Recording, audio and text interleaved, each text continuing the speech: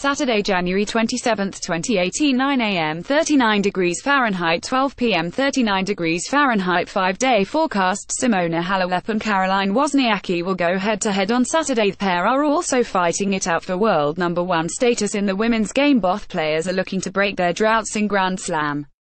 Tournament speed James Dutton for Mail Online published 2.08 Eastern Standard Time, the 27th of January 2018, updated, 2.08 Eastern Standard Time, the 27th of January 2018 Simona Halep and Caroline Wozniacki are going head-to-head -head for the first Grand Slam title of 2018 in the final of the Australian Open on Saturday. The top two seeds in the tournament will be fighting it out for world number one status as they aim to break their droughts in majors.